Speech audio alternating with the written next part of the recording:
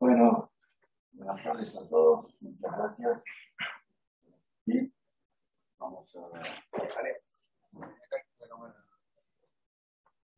Bueno,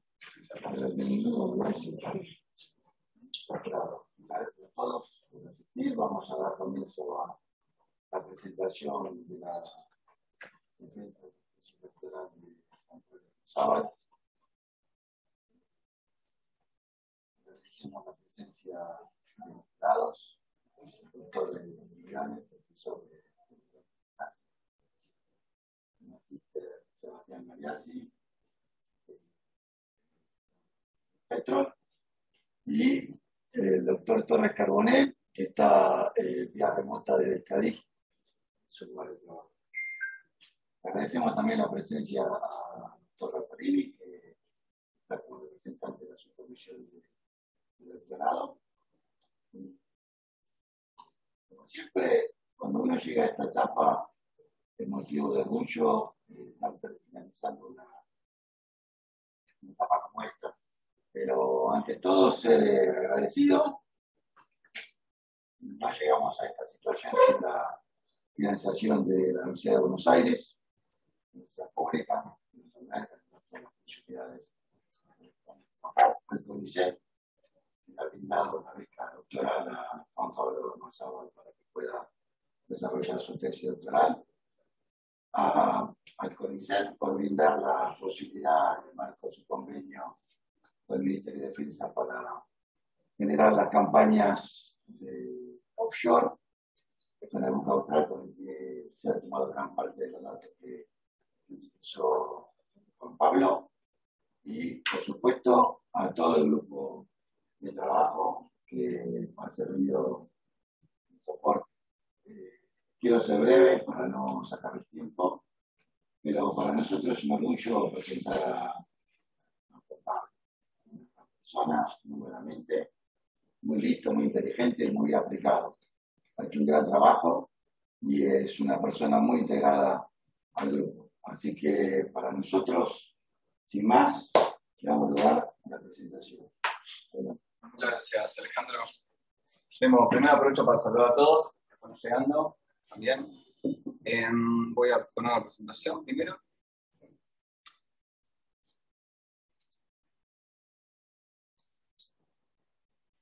Esta presentación tiene una duración de aproximadamente 50 minutos, tiene como título Estudio Acústico de las cuencas marinas y austral marina y la faja corrida social. Se divide en una serie de ítems, en los cuales son los siguientes. Una parte de introducción y antecedentes, en los cuales voy a mencionar cuál es el área de estudio, cuáles son los antecedentes geográficos de dicha área y cuáles son los objetivos eh, que tenemos que tuve en el trabajo de este doctoral. Luego la parte de metodología y datos obtenidos, en esta voy a enumerar primero brevemente los fundamentos de los métodos utilizados, luego voy a nombrar cuáles eh, fueron, cuál es la base de datos de la que dispuse y brevemente algunas cuestiones sobre el procesamiento de estos datos. Después en la parte de resultados regionales eh, se incluyen resultados justamente que incluyen las dos cuencas, el sector sur y la faja de corrida costal marinas, que es la faja de corrida asociada, y al sur de la y, y luego en la parte de resultados de interpretación voy a mostrar un estudio de detalle hecho sobre uno de los dominios definidos previamente en la parte de resultados regionales, con una interpretación de cada uno de los rasgos eh, que fui observando en este sector. Finalmente, voy a enumerar las conclusiones en la última parte. En cuanto a la parte de introducción de antecedentes, el área de estudio se localiza como en este, este rectángulo, en el extremo eh, más austral de Sudamérica. Eh, en este sector, que se ubica entre Tierra del Fuego y las Islas Malvinas, localizado en su totalidad en Nueva York, eh, el rasgo, eh, mejor dicho, la depresión matemática más importante es la depresión Malvinas, que presenta profundidades de hasta 972 metros. A medida que recorremos eh, el lecho marino hacia el sur, lo que vemos es que se va somerizando por la presencia del banco Burke.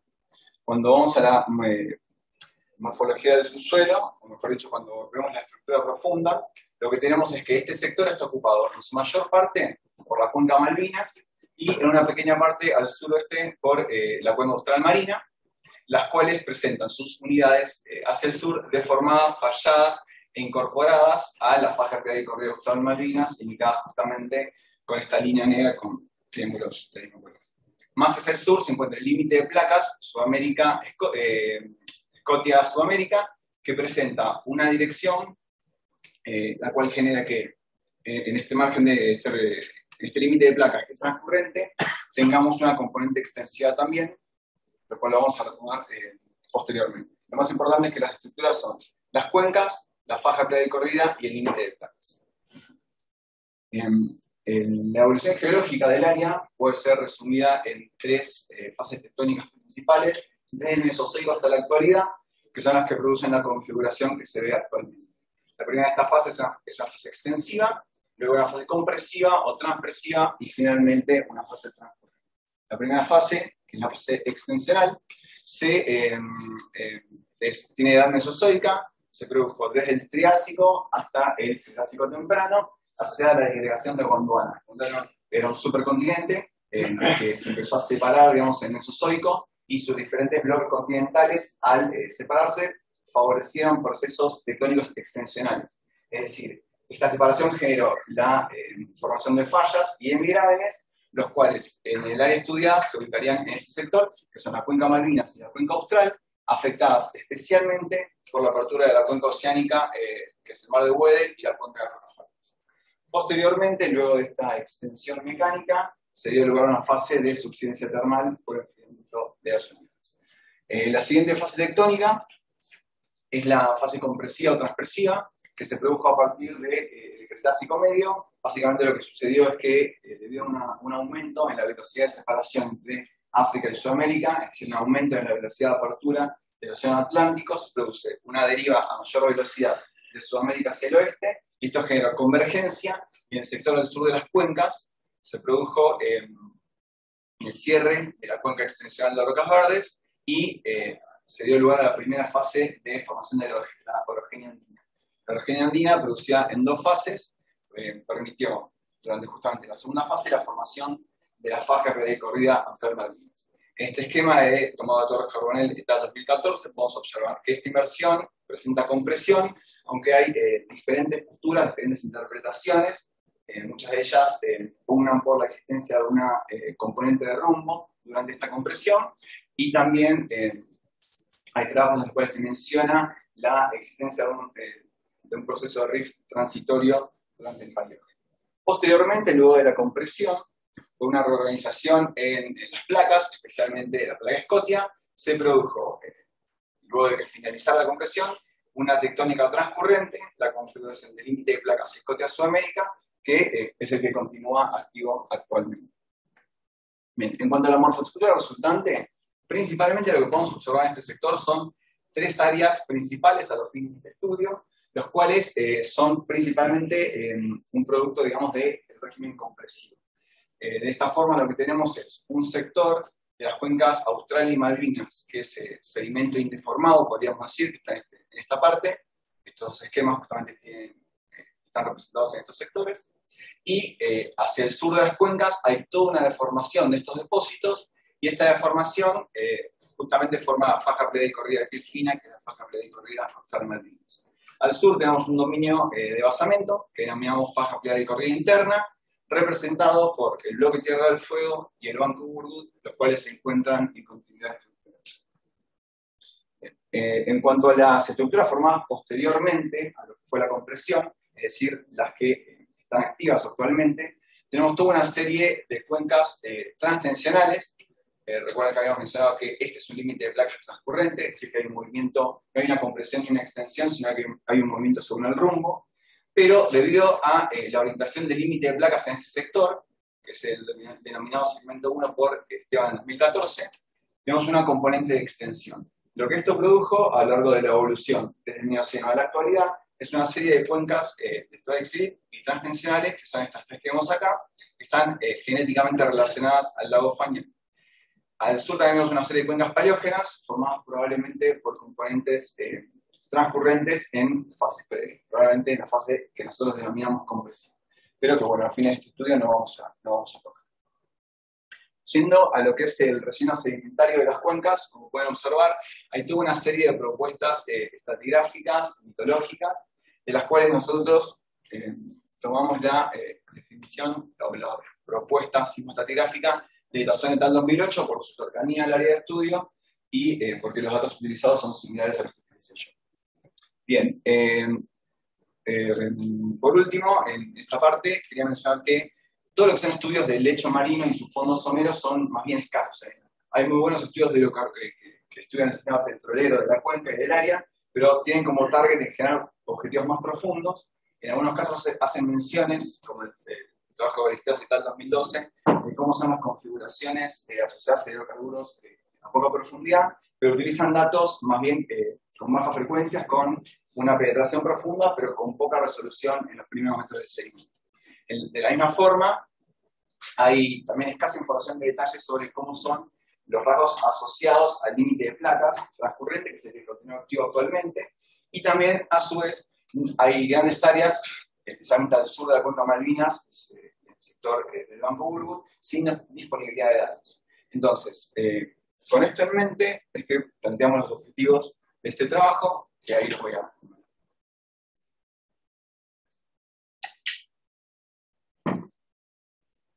El primer objetivo es el estudio del sistema de escape de fluidos someros de la cuenca Malvinas. Es decir, ver cómo está funcionando el sistema petrolero en el sector más somero, y para esto lo que hice fue recurrir primero a, una evaluación de la estratigrafía y la estructura profunda, ya que saben por trabajos previos como la de Esteas, 2013 o Galeazzi, 1998, que tenemos un sistema petrolero que, eh, eh, que, justamente genera gas termogénico, entonces es importante primero entender qué hay en la profundidad para luego eh, extender una interpretación al sector más somero del fondo marino. El segundo objetivo es una caracterización geomorfológica, es decir, hacer un estudio de los rasgos que podemos observar en el fondo oceánico, luego voy a detallar cuáles son, y finalmente estudiar la actividad neotectónica del lecho marino y sus fondos someros. Es decir, si al observar el lecho marino, los primeros metros debajo del mismo, observamos rasgos asociados a la deformación eh, por el límite de plagas actual, bueno, la idea es eh, estudiarlos justamente y definir cuál es el mecanismo que los produce. Pasamos ahora a la parte de metodología y datos obtenidos. Los datos utilizados en este trabajo se pueden dividir a grandes rasgos en datos sismoacústicos y eh, datos directos, con los métodos correspondientes. En primer lugar, los métodos sismoacústicos, más allá de los nombres, lo que me gustaría que se lleven de esta, de esta imagen es que eh, los datos estos coexisten eh, y básicamente tienen el mismo principio todos los datos que se obtienen consisten en la emisión de una onda acústica, eh, esta onda se va a reflejar o en el fondo marino o en una interfaz más profunda, y luego, eh, que es reflejada, regresa al sector donde fue emitido, entonces conociendo a qué velocidad se mueve, vos sabés a qué profundidad se encuentra esa reflexión. Tenemos tres tipos de métodos, que el primero es la batimetría multias, que básicamente consiste en la emisión de un cono de ondas, que podríamos decir toda una serie de pulsos en simultáneo, esto regresa a la embarcación dando una, un perfil de la profundidad del fondo marino y eh, con esto puedo observar la morfología de superficie, es decir, del lecho. Ahora, en lo que es el subfondo, sectores más profundos, lo que hacemos es emitir eh, ondas con una frecuencia más baja que permitan que la señal acústica penetre en el sedimento. Y tenemos dos tipos eh, de métodos que son la sísmica profunda, petrolera, que tiene una penetración eh, bastante importante con una un nivel de detalle un poco menor, pero tenemos el perfil de subfondo que suple, digamos, la falta de detalle en los primeros metros utilizando frecuencias más altas y si bien no va a gran profundidad, sí tenemos un detalle muy importante. Acá podemos ver cómo coexisten estos tres métodos entre sí. Básicamente, como mencioné previamente, la variación de frecuencias es la que determina eh, justamente las características del método. Con frecuencias más altas tenemos más resolución, aunque eh, como contraparte una mayor disipación de la onda. En este caso, por ejemplo, tenemos una faja de fondo oceánico en la cual se dan unas dorsales. Lo que, lo que hicimos luego fue tomar un perfil con el perfilador de su fondo y ver cómo son los primeros metros debajo de la misma. Y finalmente, para ver cómo es la parte más profunda, utilizamos una frecuencia mucho más baja y con el método sísmico podemos, si bien no vamos a ver la misma resolución, si tenemos una profundidad alcanzada en este caso de 20 kilómetros. Es eh, muy importante. En, cuanto a los métodos directos, por otro lado, son de dos tipos, pozos, obtenidos por perforación, es decir, se perfora el lecho marino eh, varios kilómetros y se van obteniendo toda serie de datos, eh, entre ellos la velocidad a la que se mueve una onda, eh, una onda sísmica por, por debajo del lecho marino. Esto nos permite hacer correlaciones con los métodos acústicos. Y lo mismo sucede, lo similar con los testigos obtenidos por gravedad, Estos eh, se toman en los primeros 5 o 6 metros de, debajo del lecho marino y eh, nos permiten obtener, otros datos, el contenido paleontológico. Y con esto podemos asignar edad al fondo marino y a los procesos eh, recientes. En cuanto a los datos que utilizamos, también los dividimos en dos tipos. Datos preexistentes obtenidos por otras entidades, que consisten en sísmica multicanal 2D y 3D, que es todo esto es sísmica 2D, excepto este pequeño bloque de sísmica 3D y datos de pozo. Y después datos adquiridos para este estudio que, como había explicado Alejandro, en el marco de la iniciativa Pampa Azul,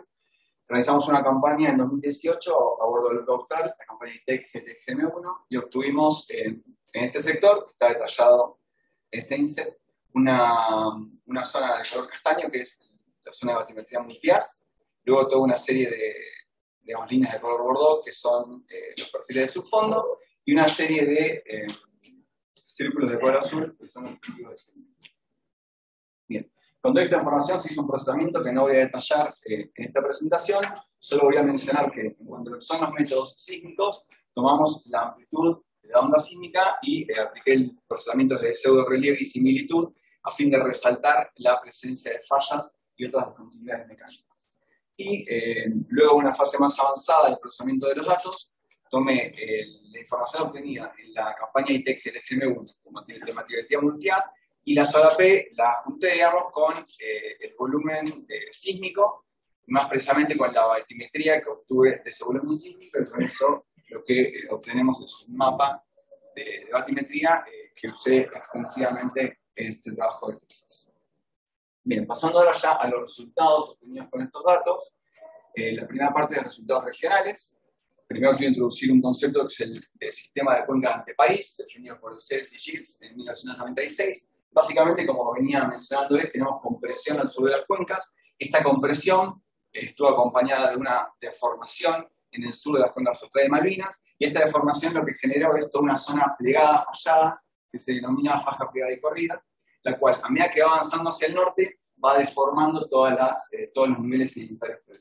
Entonces, el sector en el cual, en un punto dado, podemos decir que eh, es el más externo al cual llega la deformación de los depósitos, se denomina frente de deformación. Esto es importante porque separa los dos depocentros, es decir, las dos áreas con sedimento más importantes de este tipo de cuencas, que son la antefosa al norte, que es este sector, y al sur de la misma lo que tenemos es una coexistencia entre la faja plegada y corrida y una serie de depósitos que justamente se van depositando a medida que se produce la deformación y estos son los depósitos del tope de Bien, con esta información es que em, lo, que hice, lo que hice fue eh, definir los frentes de formación a lo largo de toda el área de estudio, que va desde la localidad de Punta Grossa en Tierra del Fuego hasta el sector suroriental de la cuenca Malvinas, son unos 360 kilómetros, y eh, luego también incorporar la, el frente de formación obtenido de fuentes hidrográficas, que eh, en base a las características estructurales de todo el área por comparación y por asociación, la separé en dos dominios. Son el dominio Tierra del Fuego y el dominio Las características de estos dominios, antes de verlos, quería mencionarles un poco cómo es eh, la distribución de los sedimentos en los dominios. Básicamente, eh, lo que primero que tenemos que mirar es este mapa, que es el mapa del tope del basamento, es decir, el piso de las cuencas cuando se empiezan a formar las cuencas, eh, el nivel inicial, y lo que observamos básicamente es que tenemos una zona más somera en este sector, como lo dice en kilómetros, y a medida que vamos hacia el este va aumentando la profundidad del basamento. Si se fija esta línea de color bordeaux, está representada en perfil por este, por este perfil sísmico, y lo que se puede observar justamente es que tenemos inicialmente unos 8 kilómetros de espesor, y a medida que vamos hacia el este, vamos aumentando la profundidad hasta alcanzar, al menos en este caso, profundidades de unos 20 kilómetros. Eh, por encima del basamento, lo que tenemos son las unidades mesozoicas asociadas a la extensión que he mencionado previamente, y estas rellenan justamente este, ese sector. Esto es un mapa eh, isopáquico, es un mapa de espesor de las unidades, el mayor espesor está hacia el este. Luego por encima tenemos las eh, unidades asociadas a eh, compresión, a la formación de la faja plegada y corrida, y estas unidades, como podemos observar, presentan los mayores espesores hacia el sur que básicamente con la traza de este perfil sísmico podemos observar estos mayores espesores en este sector, asociados a este, esta línea de color por encima de la Finalmente, eh, la unidad más nueva es la unidad 5B, presentar mayores espesores hacia el este nuevamente, debido a que simplemente está siguiendo la mayor profundidad del fondo marino hacia el este en la cuenca marina. Volviendo acá en los dominios estructurales, una, una breve mención de la unidad 5 antes. Esta unidad es la más nueva, más reciente de la cuenca y la más importante en este estudio.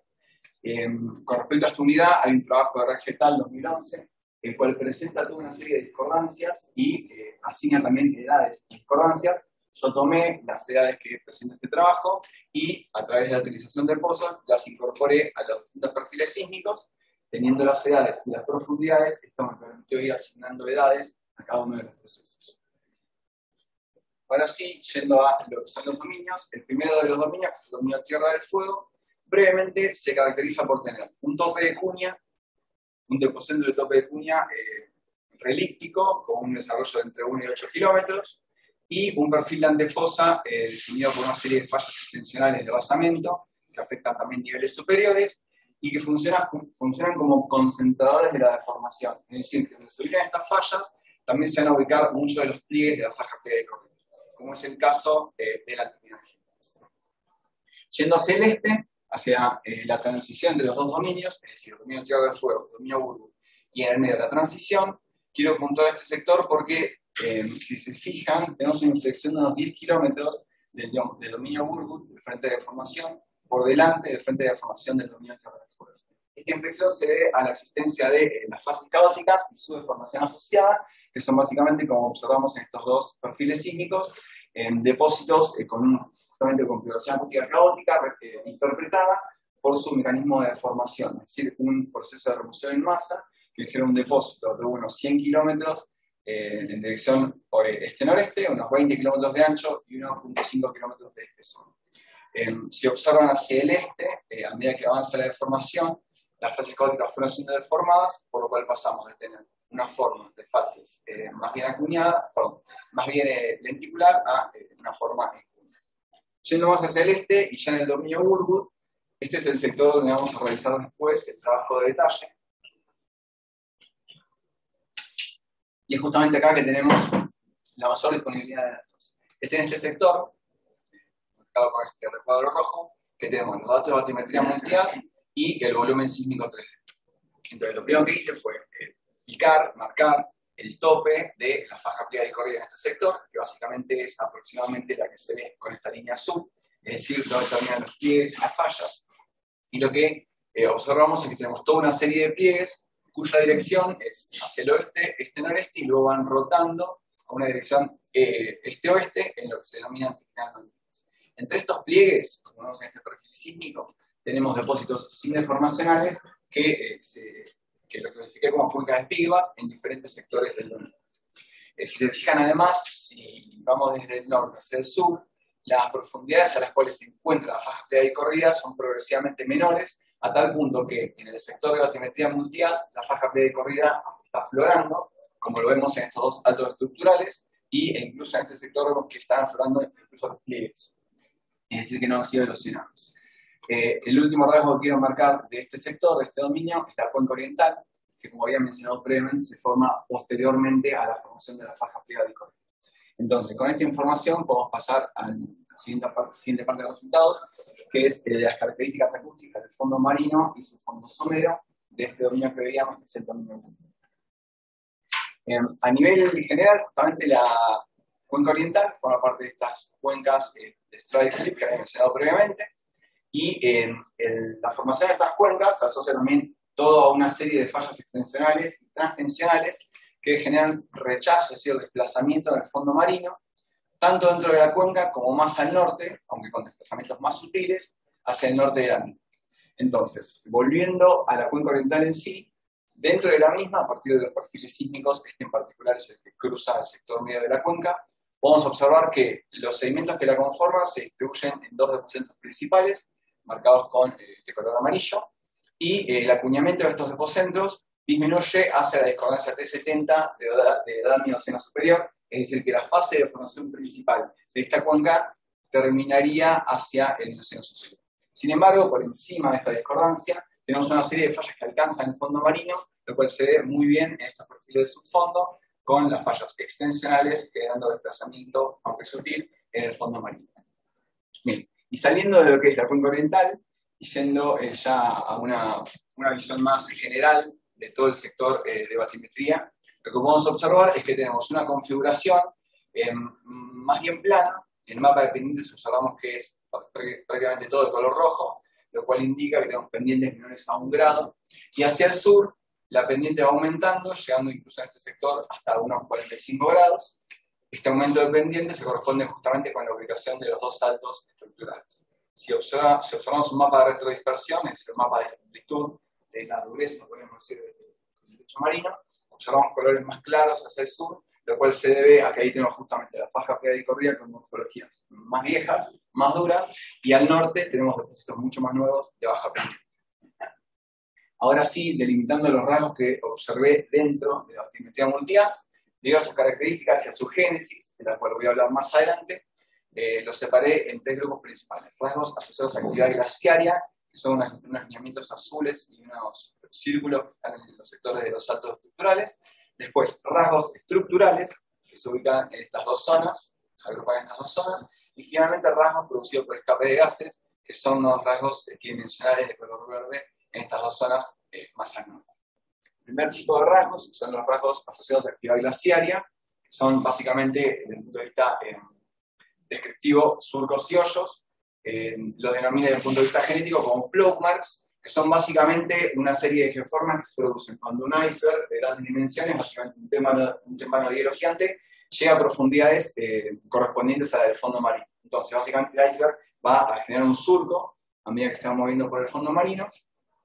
y eh, en el caso de que en vez de generar un surco se trabe en un sector en particular, va a generar un hoyo, como los hoyos glaciarios que había mencionado previamente, que pueden estar, eh, pueden estar dispuestos en solitario, en rosario, o pueden estar asociados a los surcos. La mención de este tipo de rasgos eh, tiene como objetivo principal que, ya hay una connotación genética, es decir, que necesito alguna masa de hielo tal que pueda llegar a una profundidad de al menos 300 metros, esto va a decirme que ese rasgo se produjo durante alguna glaciación o hacia el final de la misma. Entonces, rasgos similares observados en el cuenco de Malvinas Norte fueron asignados por Brown et al. Eh, al último máximo glacial, que hicieron un evento de hace 20.000 años, lo cual nos permite asignar una edad mínima para el fondo marino de 20.000 años y a su vez una edad mínima para todos los procesos que vamos observando en el fondo marino. Y la edad máxima la definieron los doctores Carlos Marcilese y Pérez Panera con el continuo paleontológico que obtuvimos de las campañas eh, y más precisamente de los objetivos de sedimento, de los objetivos de sedimento, que es una edad máxima pleistoceno. Pasando al siguiente tipo de rasgos, que son los rasgos estructurales. Estos, eh, se fijan en este mapa, que es un mapa de amplitud del fondo marino, eh, son los de color amarillo, son básicamente fallos extensionales con, muy, con un muy sutil desplazamiento y se asocian a dos configuraciones principales. La primera configuración son todas estas líneas de color verde que son las charnelas, los ejes de los pliegues de la faja de La segunda configuración a la que se asocian son estas eh, anomalías de amplitud negativa, estas manchas de color oscuro, que si los observamos en perfil, se asocian eh, perfectamente con la presencia de este, eh, de este horizonte de alta amplitud que se denomina BCR. La interpretación de este horizonte también es genética y se interpreta debido a que en, esta, en este sector, en esta región, tenemos gas en el sedimento entonces, cuando la profundidad eh, es lo suficientemente importante y la temperatura del sedimento es lo suficientemente baja, lo que tenemos es que el agua en los sedimentos se congela y cada uno de los cristales de hielo aloja una molécula de nitrógeno. Esto forma un compuesto que se llama hidrato de gas y que eh, depende fuertemente de la temperatura. Solo puede existir a, profundidad, a temperaturas bajas. A medida que aumentamos la profundidad dentro de la formación, por el aumento del gradiente geotérmico de la Tierra,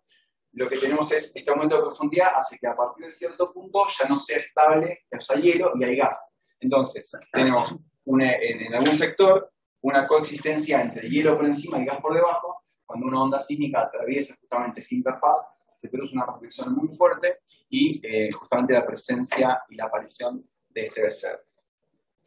Volviendo a lo que son eh, los rasgos estructurales, es decir, ya a partir de ahora las fallas de la zona alfa y la zona beta, Básicamente, si eh, ponen atención a este sector, al interpretarlo, vemos que tenemos las fallas eh, en estos sectores, básicamente como una serie de fallas extensionales oblicuas a la charnera del anticlinal, convergen hacia el centro del mismo, Y esta es una característica que vamos a ver repetida a lo largo del área y también tiene connotaciones genéticas. Eh, en planta observamos que, eh, si bien los grupos, los agrupamientos de las fallas en las distintas zonas van cambiando, van rotando, dentro de cada grupo la dirección es, eh, presenta una dispersión muy baja. Es decir, que hay algún proceso que está generando esta coincidencia en la falla, lo cual vamos a ver posteriormente. Concentrándonos ahora en la zona alfa, eh, cómo se observa esta en el lecho marino, básicamente, eh, debido a que los rasgos asociados a estas fallas son muy sutiles, básicamente observamos unas pequeñas dorsales eh, de un, aproximadamente un metro de altura o menos incluso, unos dos grados de inclinación. No pueden observarse en mapas batimétricos normales y es por ello que recurrimos a mapas de pendiente y mapas de aspecto. Sí se observan mucho mejor justamente en los perfiles sísmicos porque se asocian a toda una serie de anomalías acústicas. Y eh, si vemos en profundidad cómo se ven estas fallas, eh, estas anomalías acústicas en general eh, incluyen distorsión. Esta distorsión lo que va a generar es que no tengamos muy claramente, no tenemos un claro cuadro de cómo se ven las fallas. Sin embargo, en algunos sectores donde están las fallas pero no hay una distorsión acústica importante, lo que tenemos es básicamente esta configuración. Una serie de fallas extensionales que convergen hacia el centro del anticlinal,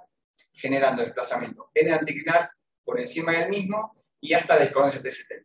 Por encima de esta discordancia, no observamos en los perfiles sísmicos desplazamiento de las fallas. Lo que sí puede observarse es un condicionamiento eh, de la traza de las fallas hacia las anomalías asociadas a, eh, gasas. El BCR ya lo mencionamos, pueden ver cómo se corta en cada una de las fallas, y además hay toda una serie de abombamientos y depresiones denominados efectos de fuga y sal, también están asociados a la presencia de gases. Justamente si observamos estos dos sectores, podemos ver que tenemos el sector asociado a fallas, una zona con apantallamiento acústico, el BCR, una segunda zona con apantallamiento, con un blanqueamiento acústico, y, por debajo una zona con distorsión. Si comparamos estas dos zonas, vemos que, no hay, que hay una, una clara diferencia, eh, justamente asociada a la presencia de estas fallas. Bien, pasando ahora a las fallas de la zona beta, que son las que se localizan más hacia el este, podemos observar que eh, está en una zona con una pendiente mayor a la de la zona alfa. Esto dificulta que podamos ver cómo, son las fallas, pero lo que sí podemos utilizar en este caso en particular es eh, un mapa de amplitud del fondo marino y un, mapas de procesamiento de la amplitud del fondo marino, debido a que en el caso de las fallas de la zona beta está presentando una característica de que tienen desplazamiento eh, tal que llega hasta el fondo marino, es decir, las fallas afloran en el fondo marino. Si lo vemos en perfil, en este cubo sísmico lo que tenemos es que eh, estas fallas presentan desplazamiento no solo en la charnera anticlinal, sino por encima de las discordancias de T70, y en estos sectores podemos ver lo mismo, que están aflorando, generando desplazamiento en el fondo marino. En cuanto a la estructura acústica a la que se asocian, es la misma que veíamos en la zona alfa. Tenemos un apantallamiento acústico, un BCR, un segundo apantallamiento y una zona con distorsión acústica. Al sur de la zona beta hay una serie de fallas similares en cuanto a, su orientación, las cuales sin embargo eh, son fallas más viejas porque no presentan desplazamiento por encima de la discordancia T70, aunque sí en algunos casos afloran en el fondo marino, lo que interpreto es que este fondo marino más viejo está expuesto por erosión básicamente y es debido a eso que afloran las fallas. Bien, la interpretación para todas estas eh, fallas que vengo mencionando es eh, considerando su oblicuidad con respecto a la charnela del pliegue, que su ubicación depende eh, de la ubicación justamente del pliegue y que converge hacia el centro anticlinal, además de que se asocian a la actividad de fluidos. Eh, son dos características que, características que Morley en su trabajo 2007 asigna como fallas efectas generadas ante la presencia de una componente de Recordando que tenemos actualmente en, esta región un régimen transcurrente es que lo primero que podemos interpretar a priori es que hay una, justamente una asociación. Pero antes de realizar un estudio más detallado, lo que hice fue hacer una comparación de la edad de las fallas a ver si corresponden todas al mismo proceso. Y lo que, lo que encontré fue que, bueno, al menos hasta la discordancia T70, al menos hasta el mioceno eh, superior, tenemos estas fallas coexistiendo y formándose en todas las áreas. Esto incluye a las eh, fallas de la cuenca oriental, que presentan una orientación diferente, pero que se asocian porque como podemos ver en el modelo de formación de rumbo, eh, que les recomiendo empezar mirando esta figura, eh, básicamente eh, tenemos una deformación este-oeste, que es la que tenemos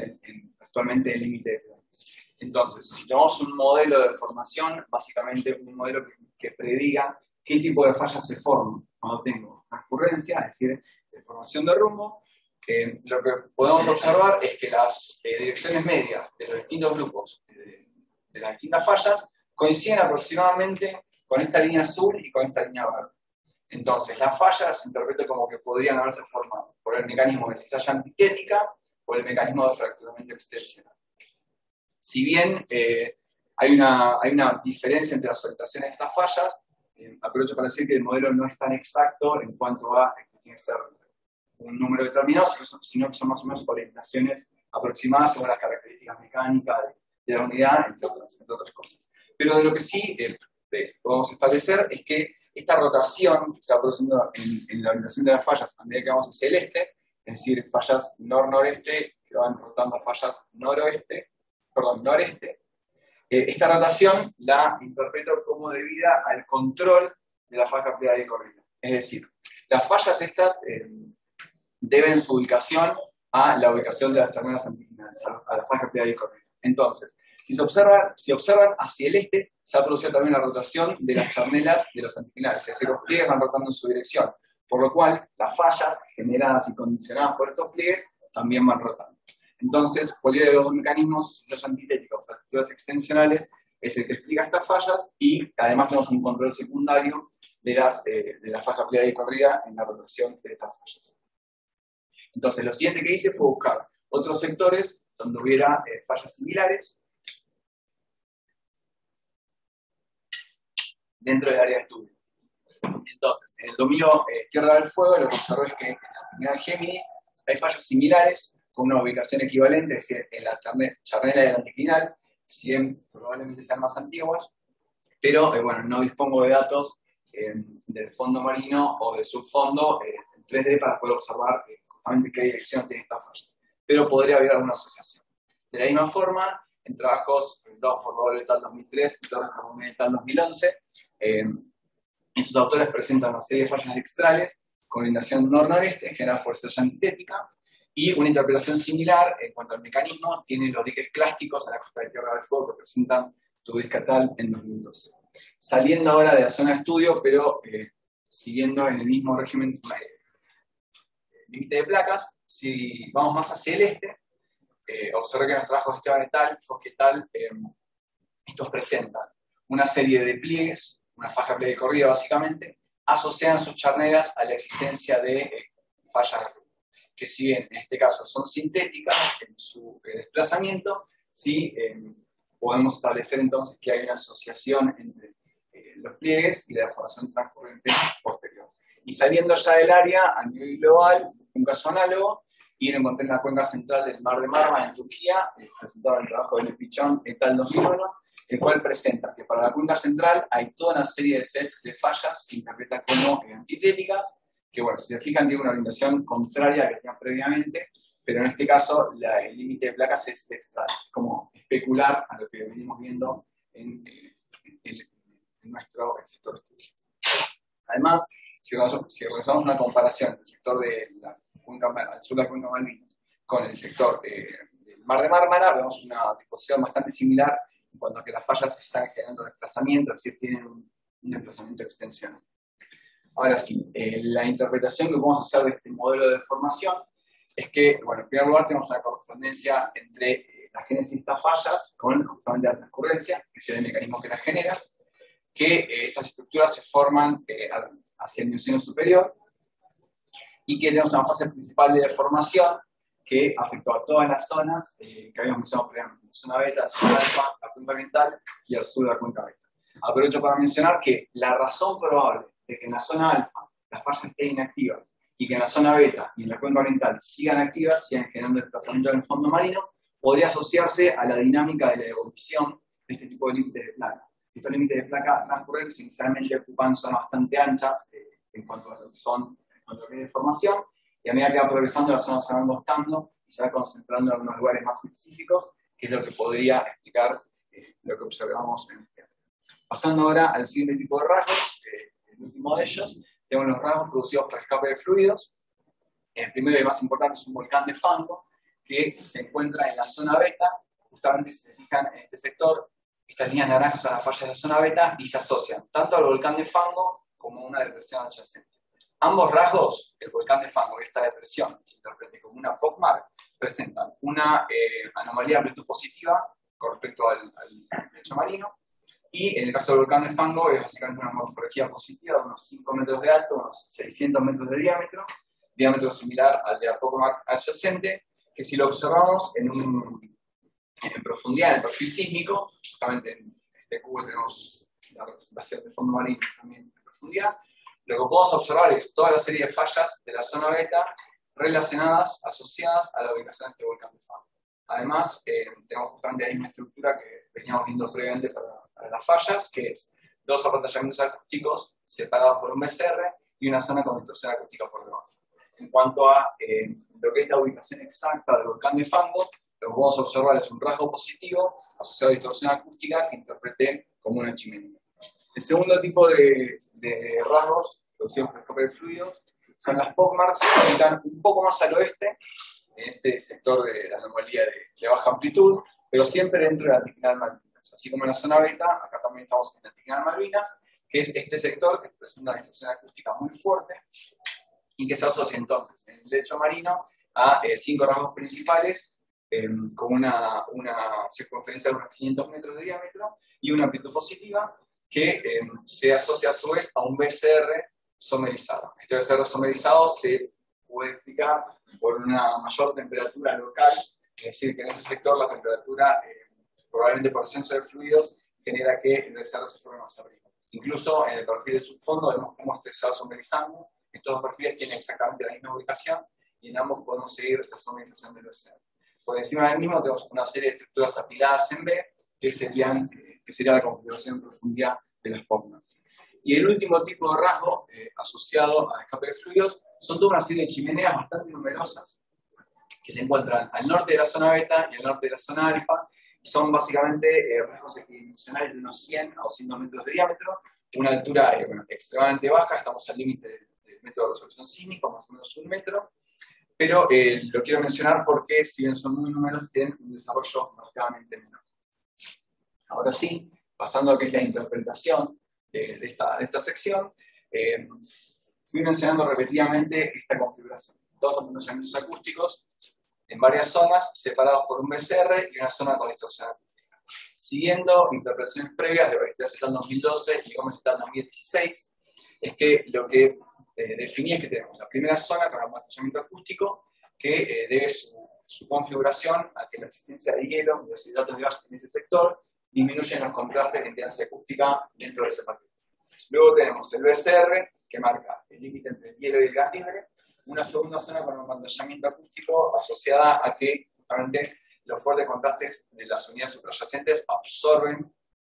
la, la energía de este medio, y finalmente, una zona con distorsión acústica que siguiendo a Arnsen 2007 estaría asociada a difusión de gas en los sedimentos, a eh, la probable existencia de fallas y además un efecto puramente acústico, que sería que en este sector tenemos coincidiendo a la reflexión de la onda múltiple del fondo marino y a la onda múltiple eh, asociada al BCR. Em, pasando ahora a lo que sea la Malvinas, quería mencionar en este sector que los rasgos con mayor desarrollo son las POCMARs, el volcán de Fango, Fango y la POCMAR asociada, eh, están asociados justamente a la presencia de esta justamente lo que interpreto es que eh, esta anticlinal había funcionado como un concentrador, habría, concentrado todos los fluidos que vienen migrando en profundidad. Eh, a partir de la bibliografía de los trabajos de Galeazzi 1998 y Acetal 2012, estos autores lo que explican justamente es que la formación de los, hidrocarburos se produjo en medidas mesozoicas en profundidad en la cuenca, y este fue migrando por fallas extensionales y corrimientos, y a medida que se produce esta migración hacia el fondo marino, eh, cuando tenemos eh, la migración debajo de la faja playa de corrida, también estos fluidos se habrían concentrado en los anticlinales. Entonces, cuando estos eh, ascienden al fondo marino por una mayor disponibilidad, y tal vez también facilitados por la existencia de la falla de cresta, producen toda una serie de anomalías con un desarrollo importante. Cuando no están en falla de cresta, esto sucede igual como en el caso de las POCMAX de anticlinal Malvinas, pero eh, la presencia de los anticlinales determina el desarrollo tener los rasgos en el fondo marino. Eh, en la misma línea, en aquellos lugares en los cuales no hay, no hay pliegue, como todas las chimeneas que mencioné al final, el desarrollo de las mismas es marcadamente menor, tanto en el fondo marino como en la eh, configuración acústica a la cual se asocia. Entonces, con esta información es que podemos arribar finalmente a la última sección, que la sección de conclusiones. el primer grupo de conclusiones, bueno, a nivel general, es que se realizó un estudio geológico y físico del sector sur de las cuencas marinas, la austral marina y la faja pedagógica asociada, y que este estudio involucró la integración de diferentes métodos, métodos acústicos y métodos en cuanto al estudio regional, realizamos mapas de espesor y de profundidad en sur de la cuenca austral y la cuenca Malvinas, a partir de la propuesta de Tazón et al. 2008, delimité la ubicación de frente de formación y frente de función emergente a lo largo de 360 kilómetros en el área de estudio. Se reconocieron algunas estructuras más externas de la factoría de corrida, como el canal Géminis, el canal Malvinas, la deformación de las fases caóticas y una serie de cuencas de piba en, en cuanto a lo que son eh, los fenómenos transcurrentes, el régimen tectónico transcurrente presenta entonces una, una expresión marcada en la zona de estudio, o sea, de diferentes rasgos, tanto en el registro sísmico como en el fondo marino. Estas estructuras transcurrentes se presentan como fallas de rumbo que se, encuentran aún activas en la cuenca oriental y en la zona oeste. Después, en la cuenca oriental tenemos una serie de fallas principales con rumbo este-noreste que eh, tiene una buena correspondencia con el, eh, mecanismo de formación de rumbo actual, más precisamente con el mecanismo de estrella sintética. Las fallas de las zonas alfa y beta se interpretamos como fallas formadas por estrella antitética y o fracturas extensionales dentro de una zona de cizalla asociada al límite de placas Sudamérica-Escotia. Estas fallas estarían enraizadas en eh, las crestas anticlinales de la franja y corrida actual Malvinas en el subsuelo del dominio 1. La orientación de la falla de cresta eh, reconoce un fuerte control por parte de los pliegues y los corrimientos de la franja y corrida actual Malvinas y de esta forma, a medida que tenemos un cambio en el tren estructural de los pliegues, tenemos también un cambio en la orientación de las fallas. La fase de formación principal, eh, a través de las fallas mencionadas, edad neógena y finalizó a fines del Mioceno. En cuanto a lo que son conclusiones asociadas a los escapes de gases, ya sea petrolero, digamos, a profundidades someras, identificamos distintos tipos de rasgos asociados a escape de gas, Comax, un volcán de fango, de chimenea, y una configuración acústica asociada a la presencia de gases, justamente. Es destacable la estrecha correlación entre los anticlinales y la dimensión de las estructuras de escape de fluidos. La activación transtensional asociada a las anticlinales de la falla de corrida formó las, eh, la falla de las zonas alfa y beta, podría haber contribuido como conductos a la salida de estos gases. Los rasgos indicadores de gas eh, que no están asociados a anticlinales tienen un desarrollo particularmente menor. Y finalmente, en cuanto a lo que son eh, estos rasgos asociados a actividad glaciaria, eh, determina la presencia de flow marks y hoyos en profundidades hasta 462 metros, que son el resultado justamente de la interacción de icebergs y eh, el fondo marino, probablemente durante el último máximo glacial hace 20.000 años. Esta información, junto con la información del objetivo de sedimento, nos permitió acotar entonces la del fondo marino entre el post-pleistoceno medio y el último máximo glacial.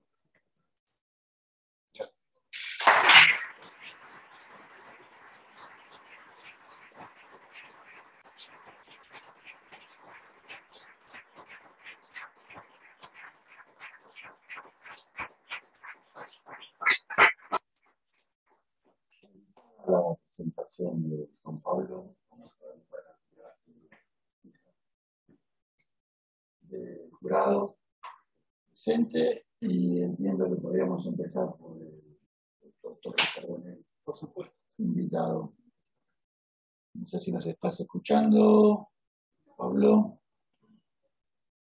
Sí, escucho, lo escucho mejor a Juan Pablo. Cuando hablas, Alejandro, por ahí no te escucho muy bien. Muy bien. Medio... Antes de escucharlo, Juan Pablo. Muchas gracias. si querés, Pablo, prende la cámara y. Ahí está. Bueno, me tocó hablar primero. Felicitaciones, Juan Pablo. La verdad que un trabajo excepcional. Eh, se nota que tenés mucha capacidad para expresar tanto por escrito como, como de manera oral, digamos, eh, todo el estudio que has hecho y sinceramente te felicito porque eh, creo que sobre todo lo que tiene que ver con, con el, análisis de la sísmica, tanto la que ya existía como algunas cosas nuevas que hicieron ustedes, eh, todo el procesamiento que hiciste de, imágenes viejas para realzar estructuras, para visualizar mejor eh, un montón de rasgos estructurales. Y también toda la, parte de batimetría y de rasgos este, más recientes, que por ahí es lo que a mí más se me escapa porque no, trabajo en ese tema. Eh, realmente se nota que, que es un aporte sumamente novedoso, interesante, muy útil y que también que recién estás empezando y creo que te queda muchísimo para, con todo esta, este bagaje de datos y lo que vas a seguramente hacer en el futuro, tenés por delante un montón de laburo eh, sumamente interesante. Así que mis felicitaciones. Y realmente muchas preguntas no me quedan, creo que eh, después de la primera tanda de revisiones quedó bastante claro un montón de cosas que tenía incógnitas. Eh, lo único que por ahí te preguntaría es, sobre estas fallas más recientes. Eh, vos hablas de que eh, hay una fase de formación en el Mioceno tardío y que tenés algunos reflectores que te indican que muchas de las fallas después de esa edad ya no estuvieron activas y que solamente tenés de formación reciente o muy actual en una zona que me perdí un poco si es la alfa o la beta, pero entendí que era la parte de la cuenca oriental eh, es así, ¿no? Sí. ¿cómo, lo asocias un poco a la, digamos, a la historia reciente del sistema transformante, del límite de placas, ¿no? Entre las placas Sudamérica y, y Escocia. Si querés agregar algo más sobre eso, alguna explicación que se te ocurra de, de por qué de repente se desactivan unas y se activan o se mantienen activas estas otras. Porque entiendo que también la zona de estudio no está justamente eh, localizada donde pasa la traza del límite de placas actual, pero tal vez hubo algún desplazamiento de ese límite, o no sé si lo, si lo querés asociar de alguna manera con, con las magnitudes de desplazamiento de rumbo que se conocen en otros lugares. No sé, si querés agregar algo más sobre eso, que es lo que por ahí a mí más me interesa también. Sí, bueno, muchas gracias Pablo por, por todo lo que dijiste primero. Eh, en cuanto a la, pregunta que me haces, eh, sí, un poco lo que, lo que yo pienso o, la idea que, que, empecé a germinar cuando estaba estudiando estas estructuras, salió un poco del trabajo también de Sandoval y de Pascal, creo que de 2020. Ellos justamente mencionan que el límite de placas en este sector es de los más angostos del mundo. Y justamente eh, lo que yo pienso es eso, una, una primera fase, una fase inicial, eh, cuando no te todavía la formación de un límite de placas, sería a, a, nivel, digamos, a nivel de desarrollo areal, bastante importante, como ya tenés un, un progreso de la formación, una, una, traza bien delimitada, este límite se, se, fue angostando, y también probablemente si venís de un régimen eh, compresional o transpresional, al cambiar eh, el régimen de, movimiento de placas, en aquellos sectores donde cambia un poco, digamos, la, bueno, donde cambia el, tipo de, de, deformación, pasar de una deformación quizá más, más inconversiva transpresiva a transcurrente, este cambio habría generado quizás en las fallas de la zona alfa, porque estas fallas, eh, si bien la sociedad transcurrencia y todo aquello eh, pertinente, no tienen un gran desplazamiento. Básicamente es, eh, están como congeladas, como que se produjeron en un momento. El caso contrario sí es el de la cuenca oriental que presenta una clara, un, claro desplazamiento de las fallas. Ahí el desarrollo es mayor, ahí justamente sí puedo hablar de quizá de, un límite de placas que pasa por el sector de las cuencas, pero en lo que es más al norte, pensaría que es justamente un, momento, un instante que yo lo asociaría a fases previas el límite de placas, y que justamente también la cuenca central del Mar de Mármara, eh, un poco lo elegí por eso, porque tenés una zona con eh, fallas formadas por desalla antitética que está claramente separada, o sea, al norte del límite de placas. No es que está asociada al mismo como para decir, bueno, fue progresando de tal o cual forma. Así que yo lo asocio a algo más, más inicial, eh, justamente por este cambio en el régimen tectónico. Una vez que se establece y que empieza a tener una dinámica determinada, se canalizó por, por la cuenca oriental. Está bien. Bueno, muchas gracias Juan Pablo y felicitaciones nuevamente. Gracias Pablo.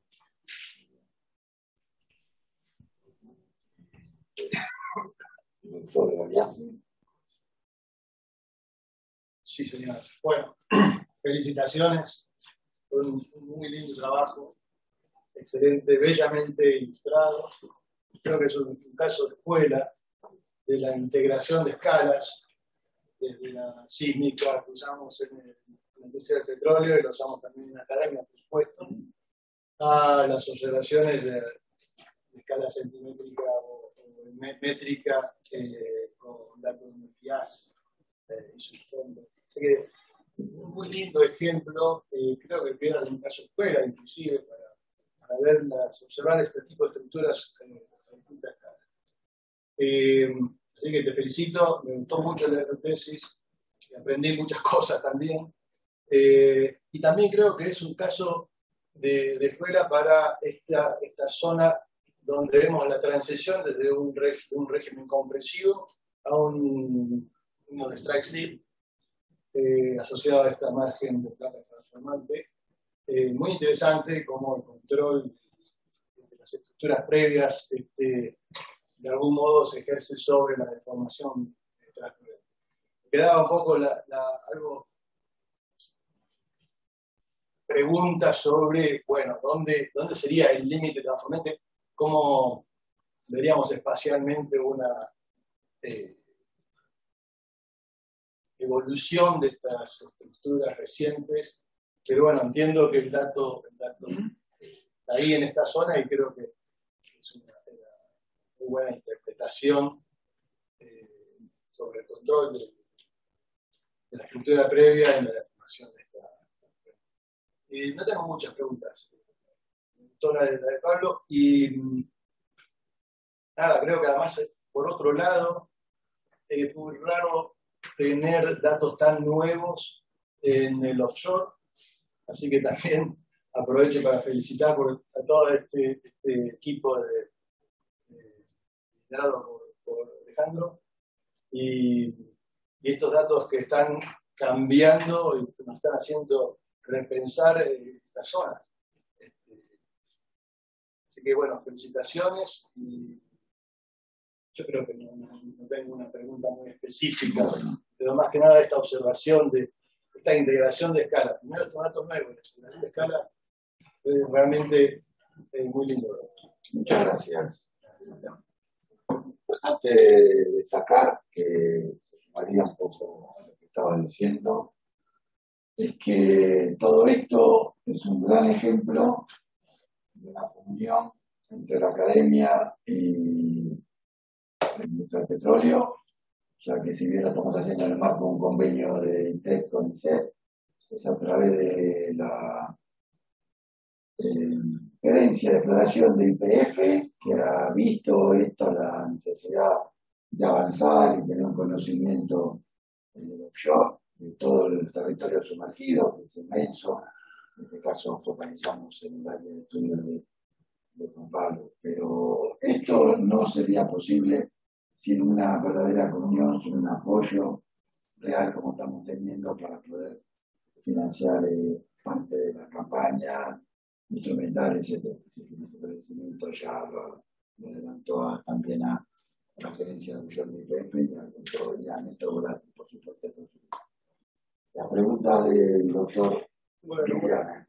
Yo no puedo más que sumarme a, a las felicitaciones de Pablo y Sebastián inicialmente. Nos conocemos hace muchos años, así que,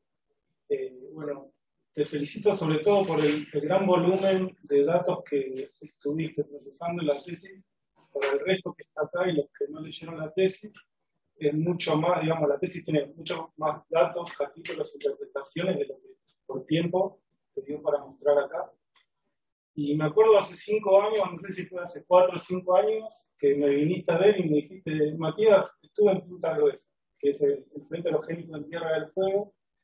Y yo creo como estuvimos hablando de los afloramientos que hay ahí, y básicamente si vos trabajás en Tierra del Fuego,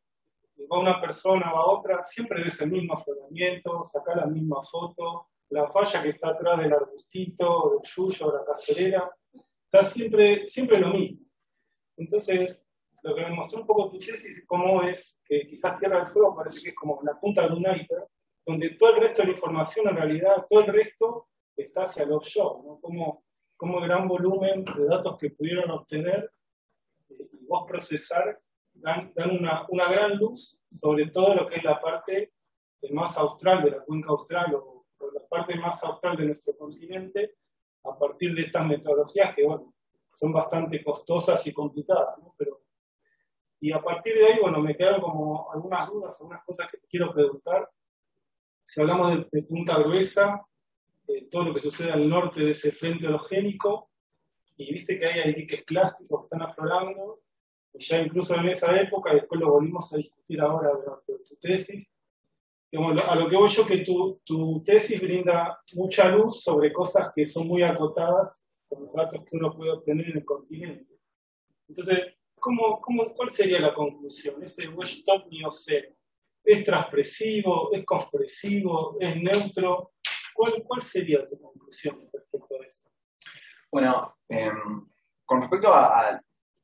cuán al norte llega, digamos, la formación en este caso, si son cuestiones que decís, bueno, creo que puede estar asociado a esto y no por eso asociar tu interpretación, creo que hay una componente de Primero porque, digamos, es lo que más me cierra también desde el punto de vista de eh, desarrollo de la franja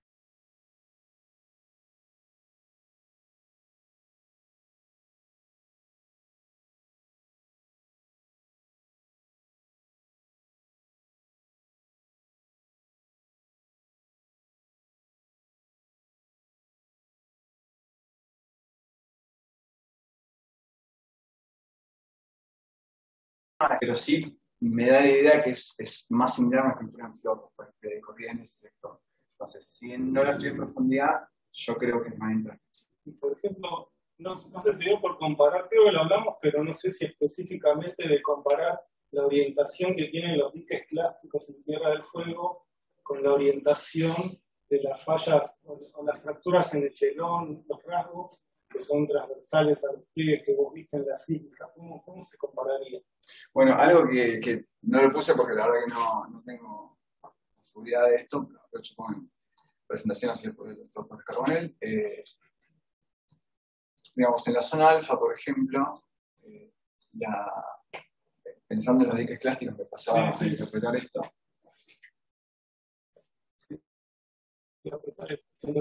Sí, sí, no lo.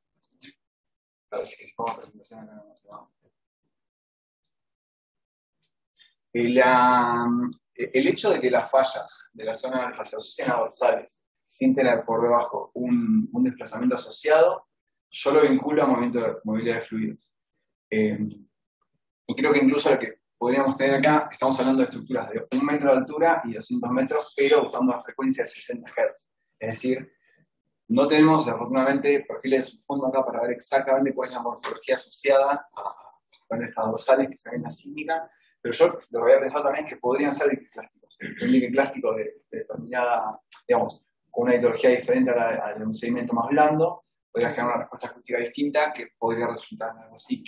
A la vez, eh, con, no sé, con, la sísmica 3D que se ve acá, prácticamente, o sea, este mapa está hecho con sísmica 3D. El procesamiento arrasó, digamos, con,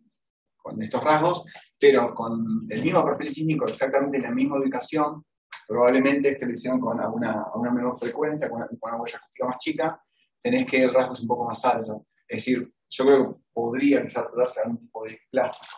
Eh, o, también me genera la pregunta, ¿cómo había un dique plástico con datos acústicos en, el, en el Quizás sería algo asociado a esto. Hay, hay, ejemplos en el Mar del Norte, trabajos en el Mar del Norte que estudian los diques clásicos, además por la, la capacidad que tienen de, de conectar reservorios. Claro. O sea que podría ser un, sería como casos análogos, yo, no quiero poner palabras en No, pero son más para el postdoc, así que... Eh. Y después, eh, otro, otro tema que me gustaría que, que, te expandas un poquito más, porque está en tu tesis, digamos, y de nuevo acá no, no dio el tiempo, pero bueno, ya estamos acá. ¿Qué pasa con la posibilidad de que exista una extensión para el paleoceno superior, eoceno, en la base del cenozoico, básicamente, porque creo que en tu tesis eso lo mencionaste también. Sí, acá tengo un pequeño PDF con una de las dudas. Eh, eh, puse algunas de las figuras que pensé que, que no están o sea, las estamos viendo y ahora O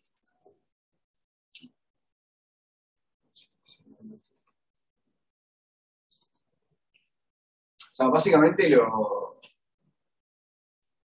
la, característica que más me llamó la atención en cuanto a que decir justamente son, estas fallas. El desarrollo de estas fallas que no sabemos si son de, si son de, bueno, que yo, mejor dicho, que yo interpreté como estructuras en flor, eh, creo que habla un poco más o favorece un poco más el esquema de una extensión, como este trabajo también que presenta Galeazzi, pero yo lo que, lo que pienso es que, está más asociado a una extensión, no, no lo desarrollo en profundidad, como mencionaba, eh,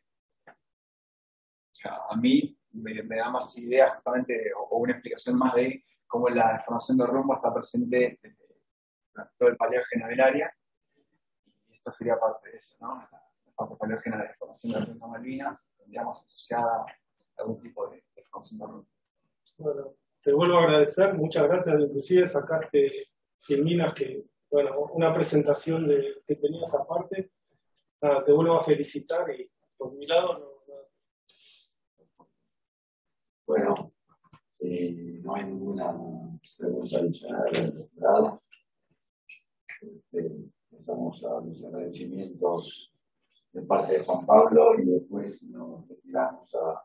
hacer el jurado de, de, sobre la felicitación. Bueno, mucha, mucha, mucha gente que agradecer en poco tiempo. Pero bueno, gustaría decir que yo siento que los agradecimientos son un poco una extensión de el trabajo hecho. Es decir, lo que yo hice es gracias a las personas a las que le estamos agradeciendo. ¿no? Así que en primer lugar le quiero agradecer a Dios. Eh, yo soy cristiano y creo que Él me dio un en la vida, me formó, me amó. Y cuando empecé el doctorado me puse a hablar y dije, Señor, si, si hago esto, que sea tu voluntad. Y bueno, ahora que lo estoy terminando, el pobre es la fidelidad que siempre estuvo conmigo. Así que toda la gloria y toda la honra que sean para Él. Eh, bueno, los jurados, a ustedes, eh, a Gileone, a Víctor Alianza, el doctor Torres Carbonell. La verdad que había escuchado un poco por ahí que te decían, los juegos videojuegos van a leer la tesis. Eh, lo metieron en un quirófano la tesis, pero me ayudó mucho. Claro, pero me ayudó mucho realmente el trabajo de cada uno de ustedes así que te quería agradecer realmente. Eh,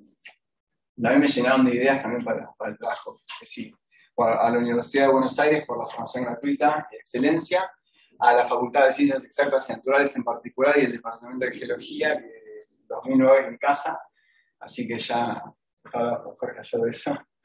Eh, bueno, el CONICET por otorgarme una beca doctoral y haberme permitido desarrollarme en el ámbito académico. Al Ministerio de Ciencia y Tecnología y la iniciativa Pampa Azul porque dieron el marco para, para toda la serie de campañas que, que Alejandro y, ya que participó del grupo de trabajo eh, del que formamos parte. Bueno, al IGEA por, por un lugar, lugar, de trabajo, en especial esta familia que es la, la GD. La verdad que encontré acá muchos, muchos amigos, muchos compañeros y estoy muy agradecido por todos estos años que ir a trabajar era ir a, ir a la escuela, así que muchas gracias por eso. A IPF y TEC, porque bueno, siempre nos dieron los recursos para llevar a cabo tanto las campañas como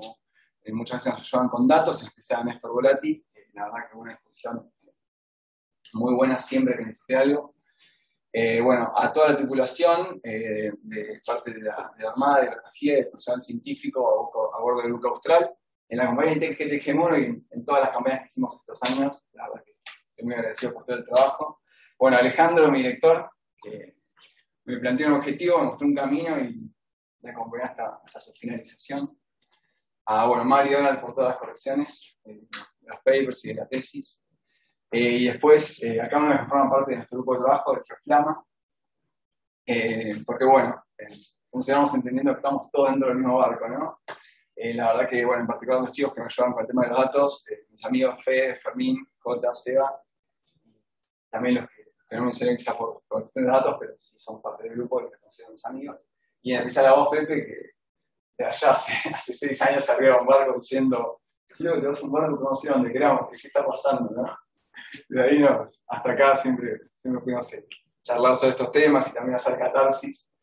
Em, y bueno, bueno, a todos mis amigos eh, de la vida, la mayoría, no pudieron venir, Rodri, a todos los que me acompañan hace tantos años, eh, somos chicos y también a las, personas que sumaron, especialmente las que sumaron en el último tiempo también. Y bueno, finalmente a mi familia,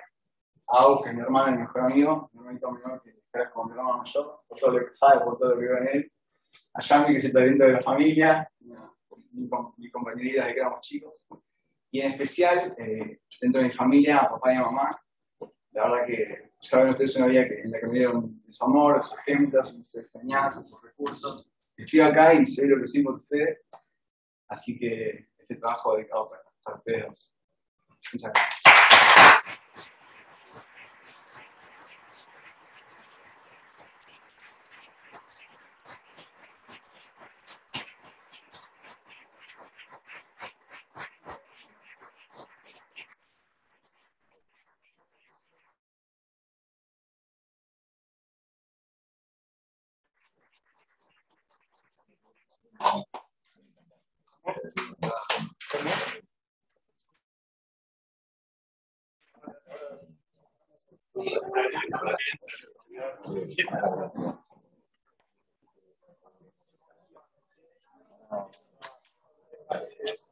Simplifica un poco la vida.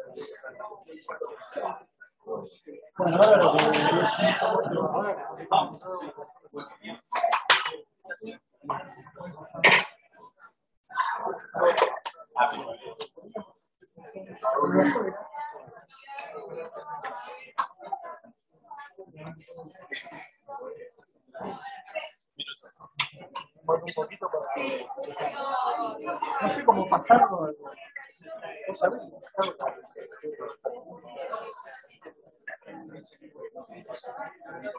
Ahí ya lo vamos a ver grande.